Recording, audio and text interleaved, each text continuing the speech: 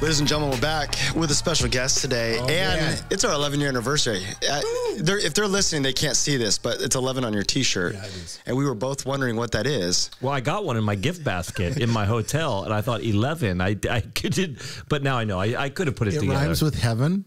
okay, Ooh. I don't uh huh, know. uh huh. That's uh, okay. I like, I like. I think. We, we, the, okay, so for those listening, and you just heard a third voice, it it wasn't the Holy Spirit, but pretty close. Uh, we have Pastor Banning Liebscher from Jesus Culture Church, Sacramento. We're excited you're here. You're speaking all weekend. Uh, yeah, I'm stoked to be here. I'm Yeah. stoked to uh, not only be preaching at church, but be on the podcast. Which big fan, big fan. Uh, I, I I actually genuinely love the title of this Yeah. podcast, Yeah. and uh, Thank you. and yeah, I'm, I'm a big Instagram fan. Yeah. of yours, so I'm excited to sit and see if we can argue. Can we argue for? for is this an? Is this where we're kind of count pointer count for 45 minutes? This is uh, a formal debate. yeah. So you throw out a topic, and we're just going to go after it. Go We did end times last podcast. Actually. So that, was, fun. sad. We did end times and sexuality and identity. Yeah, it So th- those will already be out by the time I people. appreciate you letting me jump in on Yeah. after those. Yeah. Thank you very much. It was a lot of fun. The end time would be like, I don't know, I don't know, I don't know. I did just ask. Do you guys know who Corey Russell is? He, was at IHOP for Corey Russell. I know the name. He was at International House of Prayer, which they've done a lot of stuff on end times. And I literally was with him the other day. I'm like, so uh, tell me what you think the mark of the beast is, because I think maybe I need to get brushed up a little bit on what all this. What about Phil Manginelli talks about a lot. He's like, the first couple chapters are this, and it switches to this. This is cyclical, but this is actually. Yeah, I'm like, I can't follow this. I can't follow it. Yeah. So I had uh, there was a, a a guy that I really respected. He said, uh, "Revelation happens every generation." I'm like, all Right, right, there we go. right. So there, that's what I'll just go with that one, and we'll I move sound, on. you sound yeah. smart when you say it. Tell- Yeah. I just Okay, say so let me introduce. Uh, guys, I've totally, de- I've already derailed your You totally podcast. My is- bad. We're gonna have to start over. Okay, Austin Awesome youth pastor at our church runs theology uh, department for us. I'm, I'm the lead pastor along with my wife Lisa, and then we've got Banning Liebscher, my good friend. We've been friends for I think it's almost been 20 years. Is that crazy? think- yeah, we did. It's been a while. We did some youth camps together that we had you come out. Uh, was able to go down and visit you in um, Redding, California, a few I times. Could, I could tell you. I remember the sermon the first time he came at camp. Is that not weird? Uh, but okay, what is the points you remember? Because I He talked about a cookie, and if you eat it, it's gonna be different than if someone explains it to you. It's revelation versus information. And he talked to and it. Uh, Yeah. the one I remember. Yeah, in the anyways. was when he said. Uh, Jesus said, "I am the light of the world," and Jesus said, Yeah. "You are the light of the world." Hallelujah. Yes, I remember kids getting healed. Yes, we had some miracles. Yeah, I, remember, do too. I- was I- really that's what I remember at that campus. Kids getting healed. I remember a kid that could walk, couldn't. His, something was knee, and he had to walk upstairs. And I, I remember a handful of ones. Yeah. I also had a student um, almost choke on a red vine and and, and kind of semi vomited up on me at the same. time. Same exact camp. So a lot was happening.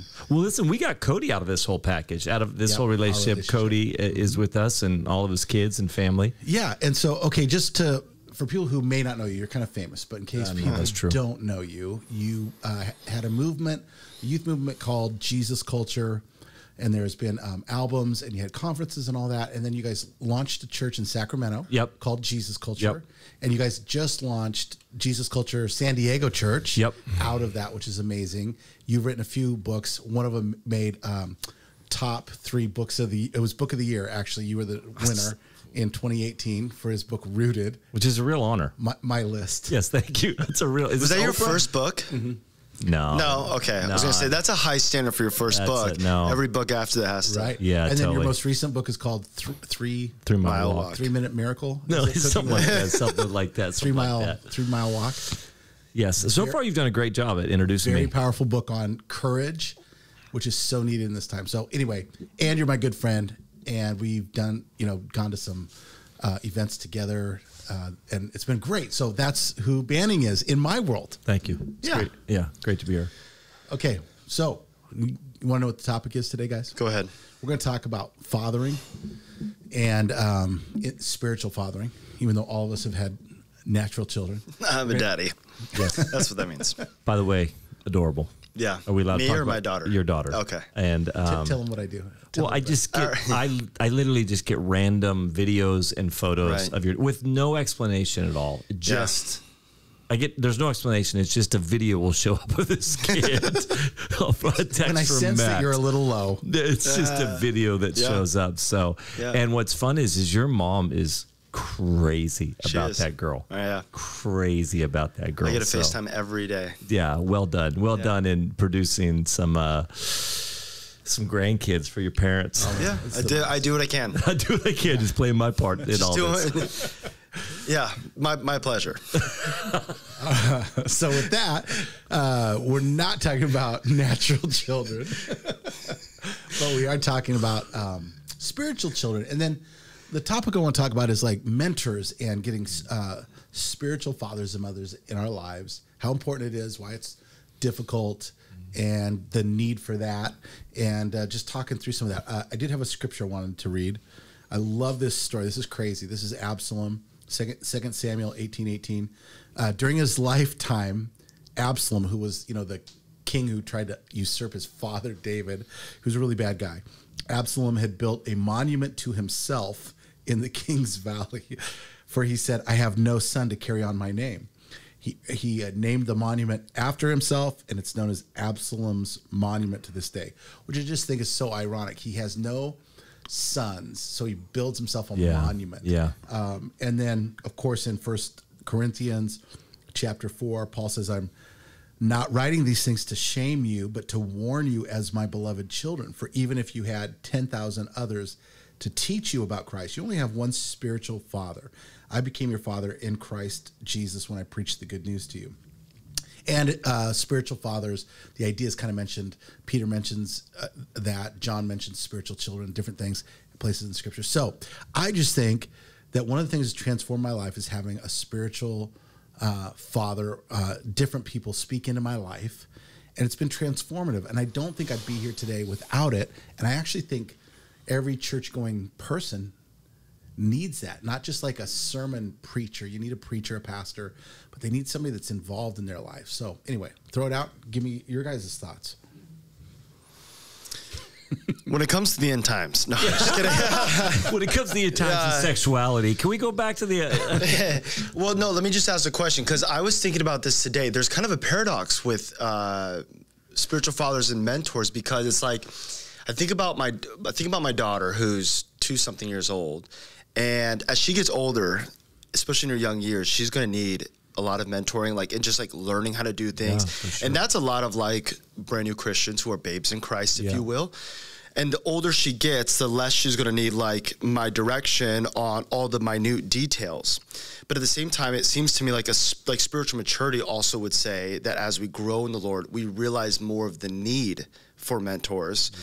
Um, can you maybe just talk about this? H- how does spiritual mentors, spiritual fathers, pastors, whatever that looks like, whatever we want to call them, how does that help in the process of maturity in the life of a Christian? Like, what what would be the reason someone needs guidance in their lives? Don't don't don't they have the Holy Spirit, Pastor Banning? Don't they already have Him? You know what I mean? Yeah. So well, what's I the role there? I would say even as we mature, though, we uh, we we always need encouragement at some level. So much of this stuff is just somebody who's actually just encouraging you. I mean, it's not just. Uh, uh, let me give you all the wisdom that I have, but I, I would have it. You know, I, I- think. Well, let me just first say this. I think this topic is is is maybe the great need in the hour. Right? I, I think that we have spent so much time building programs and building structures, and we haven't built people to actually become fathers and mothers in the body of Christ.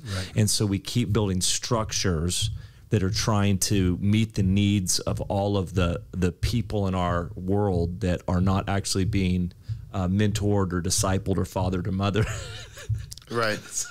there's God, there's a there's a there's a drum beat going on now, right? Yeah, I don't know if anyone can hear it, but we got worship practice going. if we start talking like this So, yeah, it's like right when I started talking. I, I, When I was a do I need to wrap this? Because all right, guys, lay it down, beat. I I think it's the I think it's the great need. Honestly, I think both with the harvest coming in, I think with uh, Paul throughout his letters is like i- i- is going after maturity in the lives of people. He's confused when they're not maturing. Like his and his whole language is maturing. And I think maturity is connected to fathers and mothers, mentors, whatever you mm. want to call them. Yeah.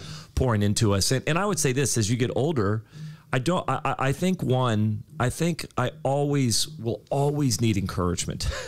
Always. Yeah. I always need a perspective that is, um, you know, we have blind spots in our life. So I will always need somebody who can come and go, you got a blind spot. And the whole nature of the blind spot is you can't see it. So when you get older, it's not like all of a sudden I have a 360 degree view of my life. Yeah.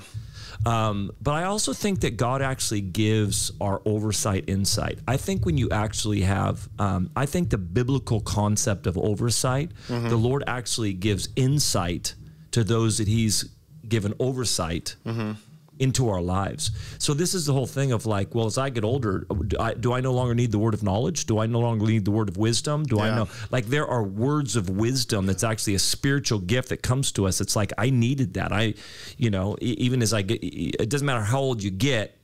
I need people who are speaking wisdom into my life. Yeah. you, you know, if that Yeah. makes sense. And so I, I think it's a, I think it's a massive need, and I think it's something that we probably need to talk about more because I'm not. It's a massive sacrifice to actually be a mother or father. And I think we got to call people to that. I think there's a lot of immature believers in our midst because Yeah, and we seen- haven't raised up fathers and mothers. we've seen a lot of ministries uh, since COVID and, and prior to that, but like the pressure of life, pressure of ministry or whatever, and then personal personal problems that people have don't get addressed, and we've seen ministries tumble. And I know that we've talked Yeah. uh, in private conversations about some of these things and gone, man, where was there? Where was the mentor or the pastor or the spiritual father to step in and go, hey, this seems like you're not doing okay, and to try to rescue before somebody shipwrecks their life, you know? Yeah. And we don't want that. We want to see people flourish. Um, I do think that in a Western, our Western culture, we're so bent on uh, fixing it ourselves that we just kind of have this idea like I'm going to get better. I can just plow through this, and so we we don't do anything on um, mental health, self care, uh, Sabbath, rest. Like we don't uh, do that, and we're resistant to also having outside voices speak into us and go, "Hey, you should slow down. You shouldn't do all this." Uh, we just don't. It's foreign to us, and so I think that those things become a problem in our life, and that points to the need of having somebody in our life. Oh, it's independence. It's just the Western, Yeah. the Western, the Western mindset is a very independent Right. kind of concept. It's you know not in the Middle East, not not across Africa, not in you know Latin America, but in in this Western church, it's full on just an independent thing. You should don't tell me what to do. I should be able to uh, figure it all out on my own. You should be able to pull yourself up by your own bootstraps. It's just that concept of like needing people is a sign of weakness, and so I just I'm not going to be weak. I don't need people. This is just all ingrained in us, and we don't even know it.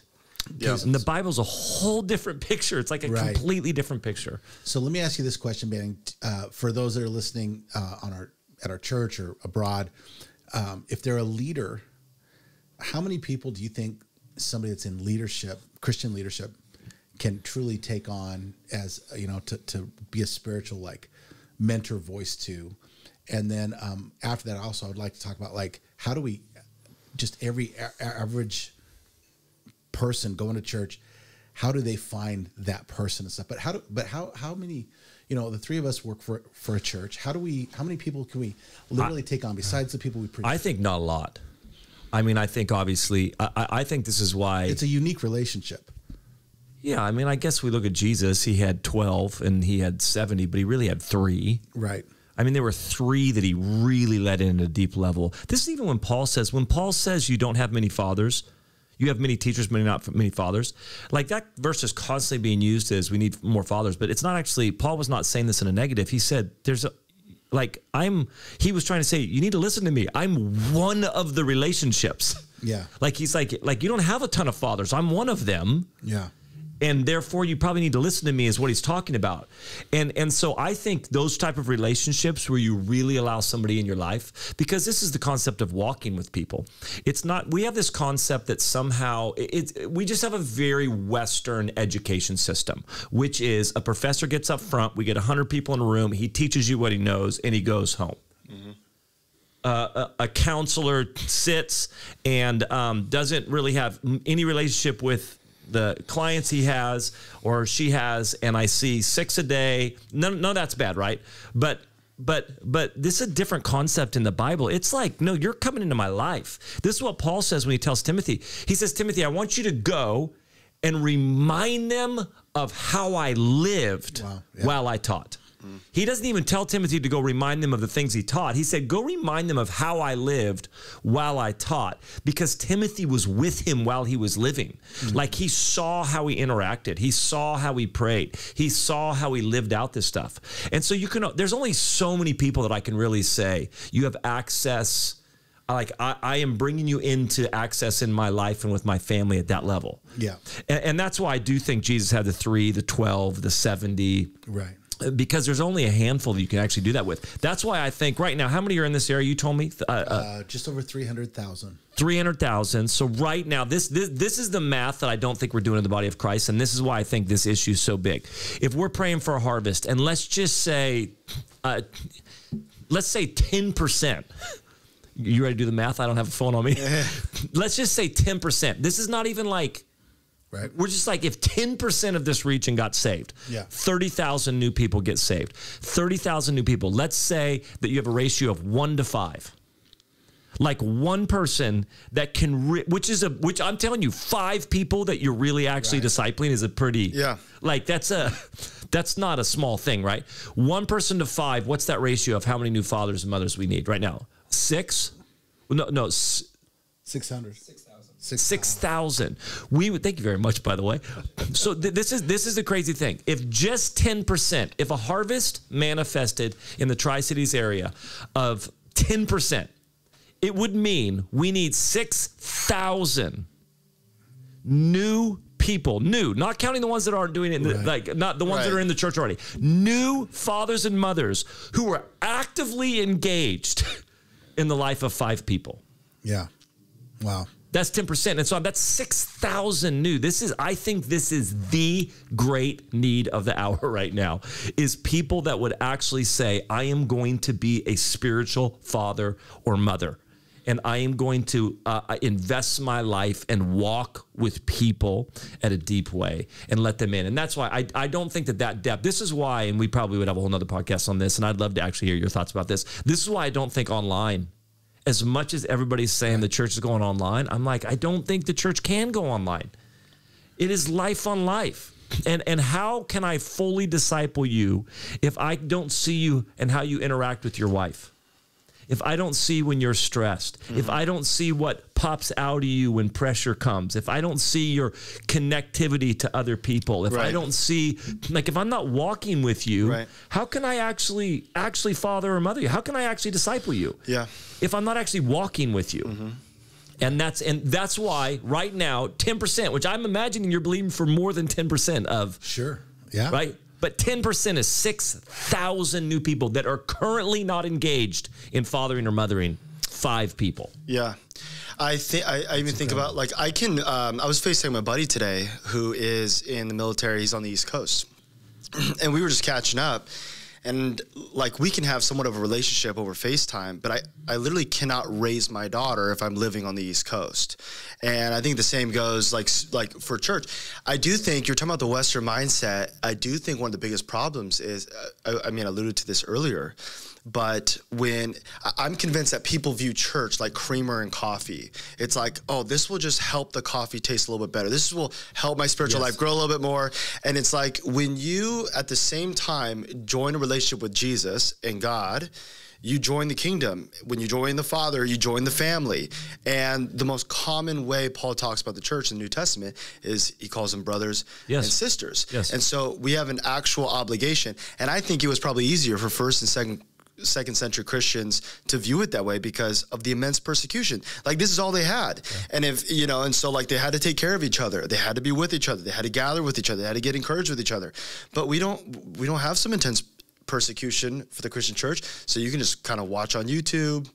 You can kind of, you know, you can kind of read your books, Yeah. listen to your podcasts, and you f- you don't feel an obligation to help take care of your brother, your your actual brothers and sisters in Christ. Yes. um, and so you can kind of get away with it Uh, in that and, sense. And this is First Peter 5 5, when, when he says, submit yourselves to your elders and be submitted to one another. yes, I mean, this, this, this. I mean, th- the, this verse: submit yourselves to your elders, submit yourselves to one another.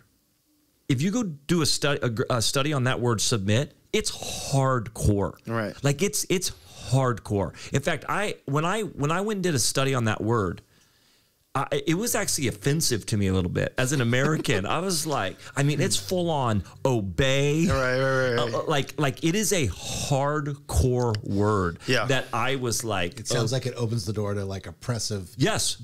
You know, Yes, absolutely. Like, like, yeah, but go look at it. Go that word. And so, so you can't do that stuff. No. Sitting on just listen to podcasts. Listen, I, I, I got to tell you, everybody, and, and listen, I, I I love Steven Furtick. He's not your pastor. right. He's not your spiritual father. He can be somebody that you're receiving Yeah, from, you're but he's just not. Right. He, you you cannot do what First Peter five five is telling you to do Yeah. In that type of context. And Right. First Peter 5 5 is very clear. You need to have your life submitted. Yeah. It needs to be submitted to covering and it needs to be submitted to community. yeah. And and that means that people are involved in your life and they're tell you- involved in your tell you business. no. Can tell you no, can can absolutely. Can, can absolutely. Okay, so let me let me um, on a real practical note. I know that for me, I've always probably uh, played catch up uh, in a sense of, man, I don't think I'm ready to be a pastor yet, but I was a pastor. I don't know if I'm ready to be. You actually encouraged me, Banning, in one of our conversations, to kind of step into that role a little bit more and just you know be more of a father figure in that sense and. Um, so I think that there's practical things that people feel like, oh, I don't, I don't have what it takes to do that. You know, I don't know if I'm mature enough Yeah. to lead other people.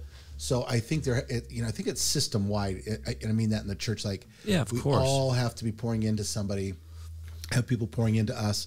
But so you know, some of the qualities that I think of that do qualify, somebody has to have some basic biblical knowledge, and I think they also have to just have gotten past a, a certain level of selfishness in their life where they have the capacity to to then care for other people but maybe there's some other qualifications and things but i think i think more people can do it than they than think they I. I would I would say this first. I think one, everything we're doing is simply, hey, I'm running after Jesus. Come with me.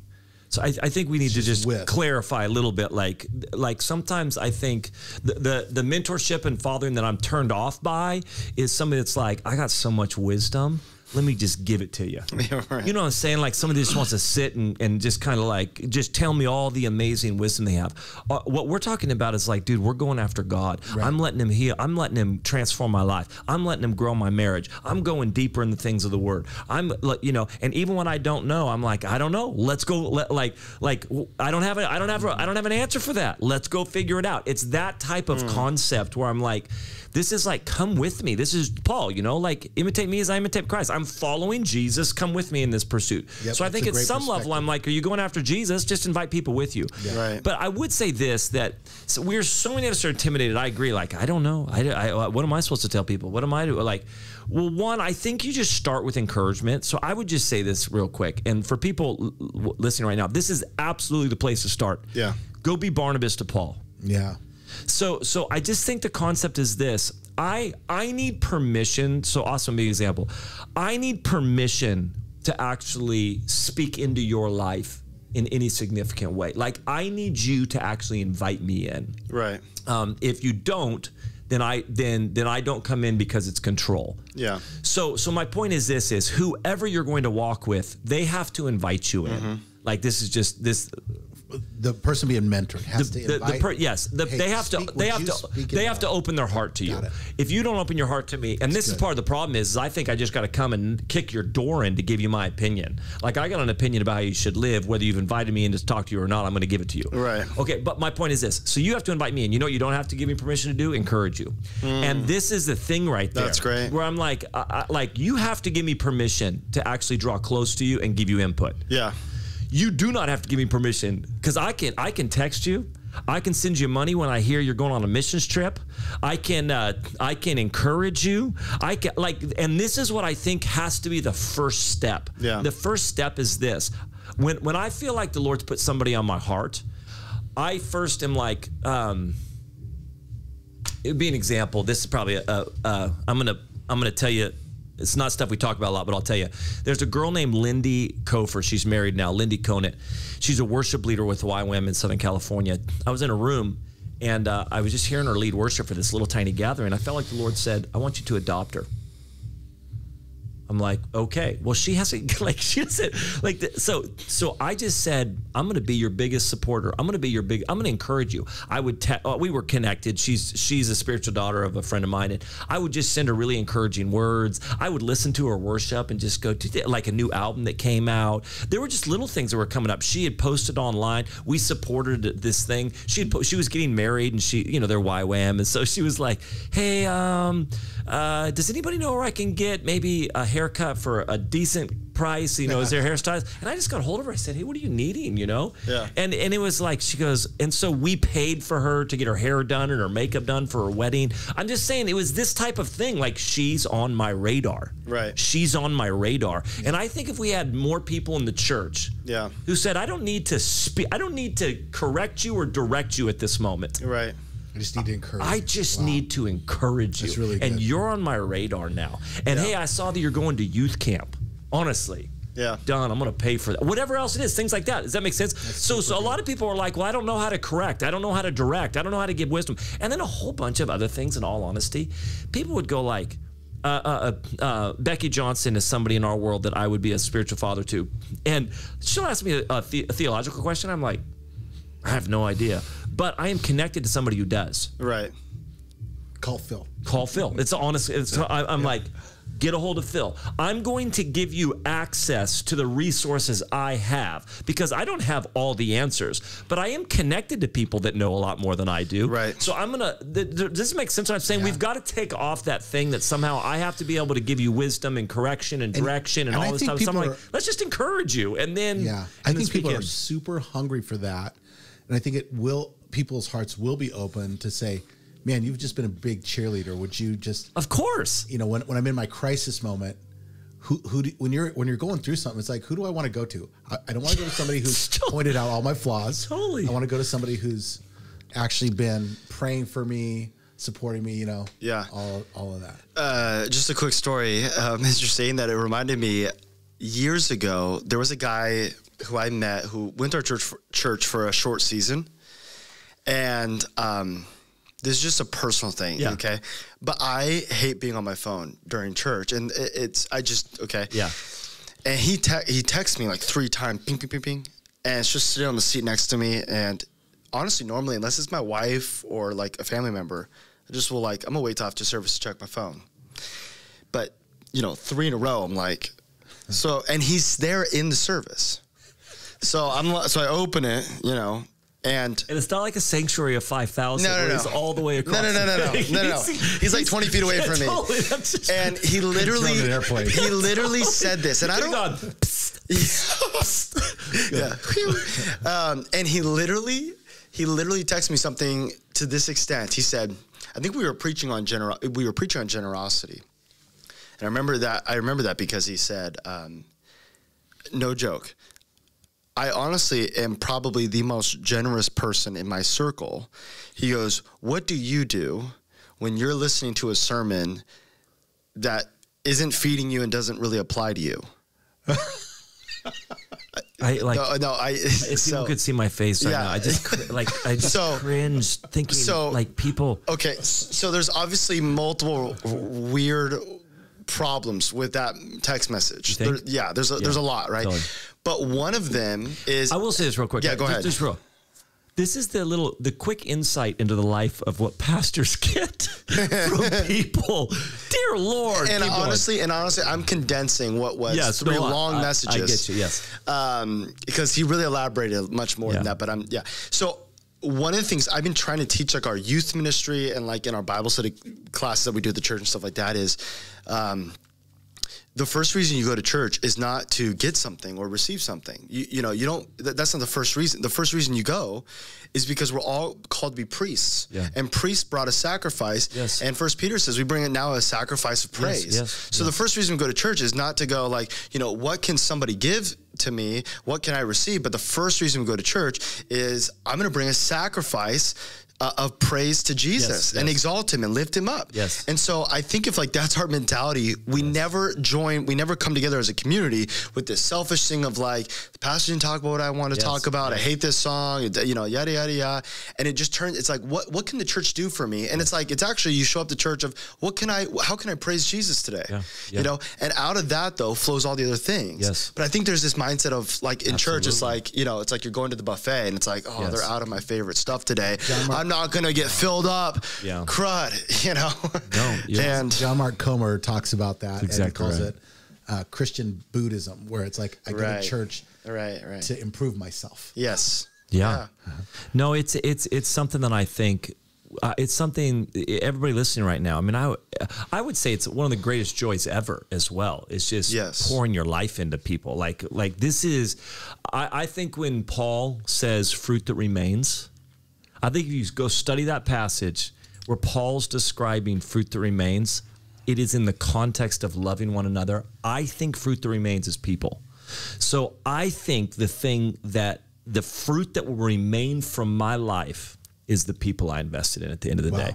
And I think that there's great joy in in in laying our lives down for one another. You know, so Yeah. I so I just challenge people if you don't have people that you're sacrificing for and loving and pouring into, like you- you're you're missing out. But but it can be daunting. One of the things that happens, and Austin, you're um you're younger than Matt and me, but there there's a there's a little bit in the younger generation, maybe even the older generation, but as a father, you have to get over a lot of hurdles that are thrown in your path. So what we because there's a whole generation that's like, we don't need you.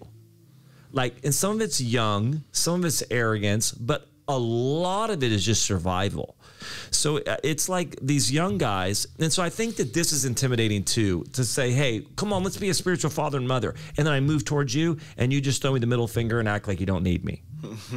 Uh, like that's kind of like, right, right. like that's kind of like you know Yeah. don't tell me what to do and like I don't, and and and I and much of it is much of it is some of it's pride but much of it is just survival because so much of these younger people they turned off the need it's still there so it's actually didn't turn it off but it was like um well if I need a father my father left when I was 5 so I learned to not have that Mm. need and I grew up my whole life thinking I'm fine without a father It's almost a badge of honor, is kind of what you're saying. well, like, it's survival at some level. Okay. It's survival in that it's survival that says if I have that need, that need goes unmet. Hmm. So therefore, I just act like I don't have that need. And then they come into the church, are like, you know what you need? You need a father. They're like, "Mm, I actually don't need a father. I've lived my whole life this far, and I'm yeah, fine. and it's not even like it's not even arrogance. It's just like if I had that need, it went unmet. So, So- therefore, I just shut that need down. here's one of the really practical things thinking back about my dad is that like literally the classic thing he taught me how to tie a tie so it wasn't like i sat down with my dad and just asked him dad what's the meaning of the universe Sure. dad what's the um you know prophetic significance of the bronze kingdom in daniel you know 9 or what Yeah. like it was just it was simple things Yes. uh that he did that that helped I, I think though um, I've never th- that's a great perspective survival because I haven't thought of that but I remember talking to a student who had just graduated from our youth ministry and he was helping out a young life and um, when he graduated he just started going to the church less and less and less and less and less to where it was like once a year maybe or something like that and I just met up with them just I'm like dude I haven't seen you around and you know. And I met up with them and I asked him this question. I said, Hey, when I, cause I know how Young Life works and kind of their model, and what they, you know, it's kind of like this funnel, you know, they try to get you to do, go to here and then this and this. And then they want, you know, their goal is to eventually to plug them into a church. You know? Yeah. I said, do you have any students who have kind of got, you know, they went from club to this and they're, they're kind of like your small group now and you have a relationship with, he's like, oh yeah. He's like, I've been, you know, f- met with them eight months ago and they're Christians now. And I'm like, awesome. And do you like encourage them to go to church? Like, and get plugged into like the body of Christ. Yeah, yeah, yeah. and he's like, yeah, yeah. And I, now I've known this guy for a really long Yeah, time. totally. I wouldn't say this to, um, You but you have a relationship. I have a relationship. I said, why would they do that? Because you don't do that. what do you say? And, and he and he literally was just like, uh, Yeah, I and you know, and what I mean by that is not, hey, come listen to more sermons, although that is part of the thing, but it's like you're supposed to do life Yeah. with other Christians, and and there's this thing of like we have we have this like false dichotomy, or we, not a false. We, we create a dichotomy of like we know what we should do, we just don't. Maybe, maybe we don't feel like we need it, right? Yeah. And um, Yeah. anyways, it was just an eye opener where it was like, yeah, of course I tell. I, I'm trying to get these students to go to youth ministry, and Well, I'm like, but you don't do that." At the end of the day, it's because stuff we Yeah. stuff we say we believe, we don't actually believe. You know, we don't actually walk it out. I love that you're talking about the tie thing because for me, um, and you, I think back to youth group. So my youth pastor and an intern who was probably 20 years old were like massive influences in my life. And as a 17 year old, I, I remember I remember this I remember sermons I, I remember their example of going after God and being godly men but I remember them showing up Yeah. I could take you to my gym that I played in high school and I could show you at least the set the, the area that they sat Yeah. I, I I remember seeing them come in the gym mm-hmm. to watch me play. I remember the intern um, having me over to his house to play video games. I remember when I was he was a baseball player in college and I was I was playing baseball in high school and I remember he would go and he would take I remember going to a baseball field and he would soft toss these balls against a fence for me and just let me take batting practice with him. Like these are the things that I remember Right. is him being there. And, and I and I just think we cannot overemphasize that fathering and mothering, although yes, it absolutely has to do with like um, you know helping Spiritual growth. spiritual growth but Yeah. so much of it is i am going to be there and i am going to encourage you and then windows open and this is part of the thing of like um, the, Ron Luce has a book called uh, The Reset. I think it's called The Reset, and it's actually the the, the book is about, you know, how do you go after teenagers in this secular culture? But the first half is about parenting. It's a really great book on parenting. But he talks about that there are with with teenagers there are windows that open up. And he goes, when that window opens, you got to take advantage of it. So he says, I always try to have one of my kids with me. He goes, I got to run to the hardware store. I'll ask one of my kids to come with me. I got to run do this. I, I'll ask one of my kids to go with me because I don't know when the windows will open. Right. Interesting. Yeah. And and so, but but the and I, I in my own my, in my own my son, you know, he'll be like, "How was school? Fine, fine." But every once in a while, he'll like start opening up about something. And I'm in the car, like trying not to ruin the window moment. I'm like, "Don't screw it up! Don't screw it up! It's fragile right now." Okay, and I'm like, "Oh, I act like I'm not too interested." Ron but Luce on speakerphone. like this is I think this is a window moment happening right now. Don't close, don't close. Uh, but but I think that that's the thing. Like we want windows to open on our time in a scheduled coffee or whatever else. And I'm just telling Right. you, if you're really going to be fathering and mothering people, yeah. Spend some time. it means that you just have to spend time with them, and that's why I think you can only do with a handful of people. Real quick, there was a, a student who came to, to the first uh, to our youth ministry for the first time, like I don't know, three years ago or something like that. And we we broke into small groups after the service. So I'm sitting in the small group, and at the end, we're like, okay, hey, does anybody have anything we want, you know, you want us to pray for just before we kind of wrap up the discussion? And this kid goes, he, first time, and he's like, yeah, me. And I'm, and I'm thinking, window, right? Like this is, Yeah. I'm like, oh, this is cool. And these kids just kind of stood in the back during worship, Yeah. just kind of like was off in space during the message. But man, like he's connecting, and Yeah. and he goes, I'm gonna ask a girl out after a youth group who's here. He goes, I would like prayer for how to approach it. He's being you- dead serious. Take your shot, player. and, and I said, I said, I said, who is it? I actually, I don't want to, but but he, but he, he goes, I, I can't say. He goes, but it rhymes with, and he, I'm like, oh, well, okay, I know who that is. But anyways, that was, um, Yeah, I thought that was going to be a window moment. It wasn't. Yeah, but- but even but even then, it's funny. Those are Yeah. the things that they care about. I know, like, That's the other thing. right. Like that's what you care about in this moment. Okay, but yeah, Yeah. I I, I, I do think this is the big challenge that we, that every believer should go. Do I have those people in my life? Right. Do I do I have and, people and here's, that? here's the thing too if you don't have that i think you, you've got to put it on on yourself to go i'm going to go and just be open and invite some people to speak into my life. Uh, because I think a lot of people come to church and go, well, I want somebody to notice me, you know, or care enough to invite me. But but it can go the other way, and most mentoring happens when. I, you know, I call somebody. I mean, uh, I think I told you the story, Banning, and I think I've told our church uh, some of it too. But there was a moment where I just needed, you know, a father figure in my life, and I called up uh, Pastor Yeah. Jess Strickland in a moment of just Yeah. devastation for me. And I was like, hey, I just need somebody to speak into my life. And he's like, oh, I've got time. I'm so glad you called. You're the greatest. I'm so Yeah. And he just laid it on. Love tank just filling up. Oh Yeah. man, and and he knew what it was, and so I think there's a place where we have to personally go, okay. Um, I'm hitting some walls. I'm not growing. I don't have all the answers, so I'm going to go to a small group. I'm going to show up on Sundays. Of course, yes. I'm going to be around Yes. some people. I'm going to I'm going to let some people speak into my life. I'm not going to act like I have it all together. I'm going to I'm going to go after that. Um, I just think that that's a real key for you know people listening to go. I, okay, I, I want I want people to have a hunger for that in their life. Yeah, I- I think uh, you know if, if anybody who's sane or reasonable and they said I want to be a surgeon, they would never think I'm just gonna look up YouTube videos and watch other people do it, and then I'm gonna go practice.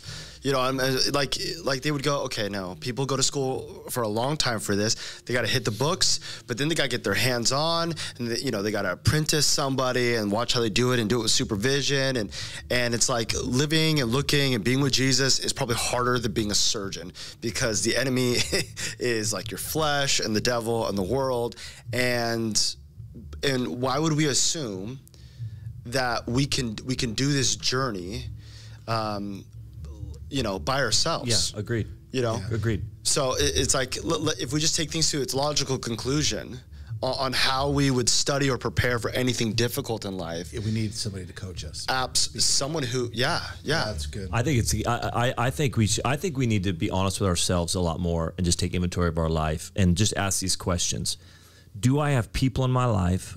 Let's just say you're married. Do I have people in my life that have actually access to my marriage and how is it going? Do I have people in my life that know my own personal secret struggles? Do I have people in my life that can tell me no?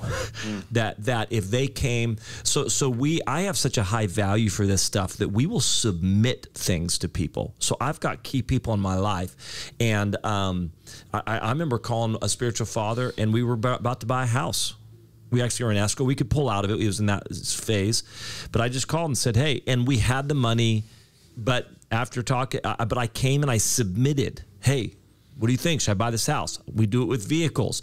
I've submitted my entire budget. Walked with a guy for a long time who knew what I was spending on everything. Like submitted my entire budget to him. He saw all my budget. He saw what we were spending money on like so like do i do, are there people that know what my budget is? Are there people that know how i'm spending finances? Are there people that and if they're not that's like here, here's what i'd say. You are limited in how far you're going to grow. You are limited. Yeah. you just are. And so if there if there are areas in my life that don't have and, and i think this is i remember um I remember this at the time, this years ago, in our circles, a pretty well known worship leader and a pretty well known pastor. They were married. And she called me and said, Hey, we've been working with them uh, just in ministry. And she said, Hey, I just want to let you know before anybody else, um, but we're going to get a divorce. And I said, Oh, you're going to get, okay. Um, and my first question is, Well, who have you talked to? Well, nobody. right. Nobody. And they said this phrase. So I said, wait, wait, you haven't actually brought this in, into submission anybody? Well, no. And this is the phrase. They said, we, we, uh, uh, we, we gave it our best and it just didn't work out. And I got off the phone. I've been married 10 years by then, maybe. And I just got off the phone. I just realized, do you know if I would have just brought my best to my marriage, we, I wouldn't, I'm not trying to be dramatic. I probably wouldn't be married Right. we definitely wouldn't be living in the same house. like maybe we'd still be married, but just not living in the same house. And, and I and I realized because, and I'm not going to be able to stand before God one day and say, "Hey, I gave it my best," Right. Because He's going to go, "Well, that's not actually what I required from you." Mm. I, like when you got saved, I put you in a big old family, and it's not just your best that's required; it's the best of others that's required as well. And what I realized in my own life, and this is what I would challenge people: Do you have people involved in your finances? Do you have people involved in your marriage? Do you have people involved in your struggles? Do you have people involved in your life choices? Do you have people involved in this stuff Right. that have been walking with you? Um, because what I realized was there is not an area of my life. Maybe I'd ask you the same same question. There's not an area of my life that is thriving, blessed, or has any version of success that has not been influenced and touched by the best of others. Right. My marriage, my ministry, my personal life, my kids, beautiful. every say and the areas Yes. where I would be the areas if I if I looked and said, well, that area is dying, it's because Yeah. Nobody else is involved in it. You're giving it your best. Yeah, because I'm giving it my best. And and I think this is a thing that every area I can say my marriage has made it 24 years and not just survived, but is blessed and thriving. We like each other more now than we did when we got married. And we've made it through really tough times, like really difficult things we've walked through. But it's because the best of Sherry's involved. It's because the best of uh, Danny's involved. It's because the best of Eric's involved. It's because the best of other people are involved. Yeah. No, that's great. So, okay, I mean, is there any area of your life that you would look at and say it's blessed, it's thriving, it's successful, Yeah. but it's because other people have been involved? Yeah, I'm right now. Um, I, I've been. I, I've read a few books on church history because I'm writing papers on church history right now, and I just think if and I'm, I'm talking about the maybe the, the worst of it, but Yes. if we if we did um, if they had the same attitude as maybe the average American Yes. Christian, you know, today, Yeah. The church would not have survived. That's not how they. That's not how they determined doctrine, or how they came up with the New Testament canon. That's not how they. That's not how they did church, and and, like like they won't even recognize how some people describe Christianity today, which they wouldn't even recognize it. They'd be like, "Th- "It's Christian Buddhism," you know. It's like, and uh, it, it just like the church wouldn't be here Yeah. Yes. if they didn't do it together. Yes. Yeah. I like agree. period. Yeah. So and the, and we need oversight. Yeah. And this is the thing. I, I mean, I, nobody nobody can take it from me. I have to give it, but I freely submit to people in my life. Be, because this is just this is how it's how it works. Like this is you know we just that's anyways. Yes, I- I, I am with you on all of it. I I know we got to wrap up here in just a minute or two. Yeah. But, um, oh, are you are you done?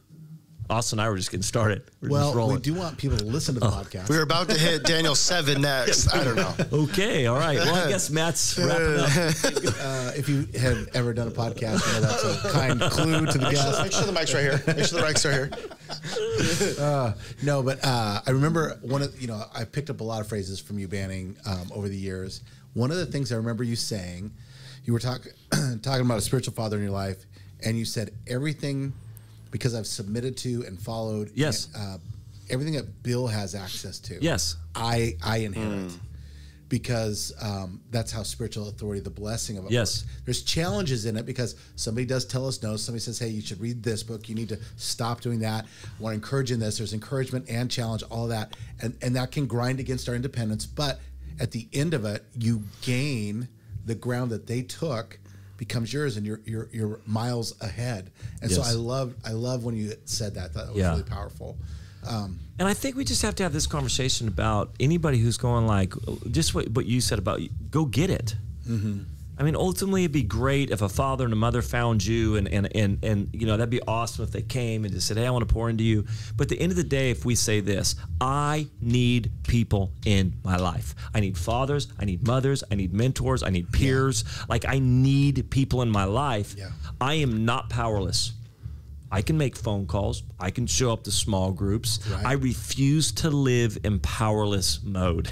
I can do something about this. And the amount of people I've sat down at to ask Father me that didn't work out.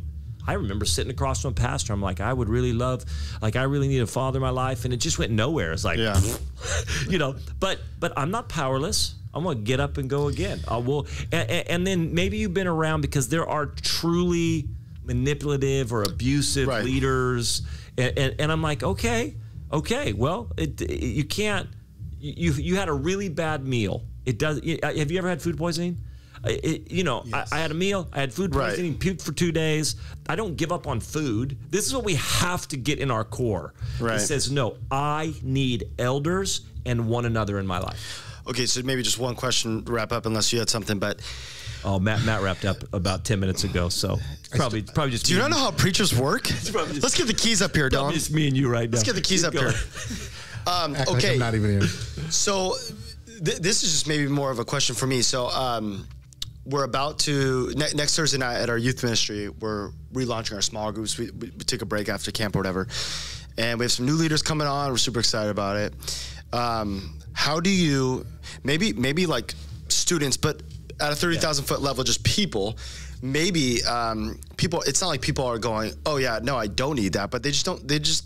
It's not. It's not on their mind. It's not on their radar h- how do you not convince them maybe is the best word but how do you inspire encourage someone to go okay actually i'm, I'm 16 or i'm 56 and um, this needs to be part of my Just point at me and say fifty-six. I- You're I'm- older I'm than me now. i'm 16 or i'm 67 yeah, old. but Well, with young how do you peo- get people going in that direction I think with young people, it's obviously difficult. There's just a natural thing in them that wants independence, at least in, that wants independence, that wants to figure out, that thinks they know what they're talking about, all that type of stuff. But that's why I think that's why I think we really have to, as fathers and mothers, there has to be a deep level of ownership. Like God's put you, like like my like my kids. My kids might just go like, I don't want to like. You're still. I'm still praying for you. I'm still contending for you. I'm still. So I think it starts with the leaders. I will say this. I think if we can get leaders hmm. who go, oh yeah, you may blow me off, but I am going to be in prayer. Right. I am going to be encouraging you. I'm going to be calling you and and begin to create the because they do want it, it deep down.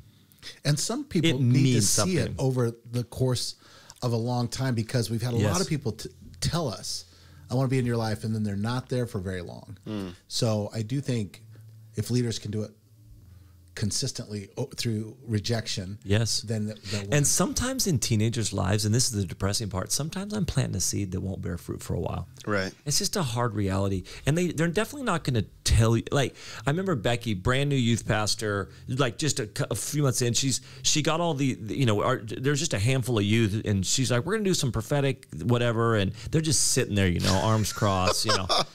And and so like doesn't look like they enjoyed it at all. Right. Well, the next day she talks to somebody. She's like, "Well, that didn't go well." They're like, "That was awesome. What an incredible small group." And she goes, "Are you kidding me, dude? Your face looked like you were having the worst time ever." And he goes, "Oh, that's just our face." Oh my gosh That's just our face. Like that's going to be the title Right. of a, a youth ministry book. Right. That's just our face. Yeah. But it's that type of thing that like you just have to go. Oh, they're not necessarily going to show it to you. Hmm. It doesn't mean you're not getting through. And then Great. I think that they're just long. They are longing for it, even though they resist it. They are longing for it, even though sometimes it doesn't look like it. So how do you convince them? I don't know. I think just by creating an atmosphere of it. Honestly, Yeah. I just think by creating. I think kids are attracted to health even though they don't know it. So I don't know what it is. Yeah. But this is healthy. I want to be around health. Right. And I want to be around somebody who believes in me. And I want and then all of a sudden there is that question of like, hey, I want to ask this girl out. And you're like, that is the dumbest thing ever. But hey, it's a window here here's something where I can maybe connect with you on this thing. You know what I'm saying? Right. It's a lot of work. Yeah, It's a it's a lot of work. All right, Banning, in the car right here, you told me two stories about your dad and how impressed you were. Could we just maybe end with those quick Here's two the stories? father. I was dry. I I remember as a kid looking back and like thinking, oh my gosh, my dad is amazing. He's he was so he was a police officer, so I already kind of thought like my dad is the man because he's a police officer. But I remember him coming home. I'm probably in first uh, first or second grade because we were in a certain house, and uh, he he ran down to the neighbor's house and came back, and uh, my my mom's like, hey, uh, dad, Larry, where were you? He goes, ah, I had to jump the neighbor's car, and I remember thinking. Oh my gosh, my dad can jump over a car. oh my gosh. And I remember in my head, I, I still can see the picture of him jumping over the car. and I'm like, that is awesome, Dad, that you could jump a car. And then the second thing that I thought was the most amazing thing ever was he would get so irritated when we were driving behind people who weren't going the speed limit. So like the speed limit would be, you know, 40, 45 or whatever, or, or he'd be like, man, what is going on? These guys are going 35. And I remember going, how does my dad know how fast they're going? I just remember so smart. I said, that is Wow. incredible that he knows how fast that car in front of us is going. Like I remember having these thoughts and like that is my dad's amazing. He could tell how fast that car is going in front of us. So this is the type of stuff. At the end of the day, we really do like we're looking up. We are we are longing for Yeah. and looking up to. Yes. Even though we may never admit it at first. Yeah, great, great conversation, great Yeah. insight. Um, we can all be encouraging for sure. That's huge. I love that. yeah. All right, why don't you take us out, buddy? Yeah. The father figure. of- Smash that like. No, I'm just. Uh, that's what they say at the end of YouTube videos. Smash that like button. Yes. Um, no, if you're watching on YouTube, make sure to subscribe. Yep. Leave, us, leave us a review on podcasts if you want to donate to the show. No, I'm just kidding. We don't. My Venmo is no. Why are you stopping there? Go ahead. Yeah, yeah. Austin underscore dash Molt. I mean, we love you guys. We'll see you in the next episode. Yeah, thanks. Thanks, Banning.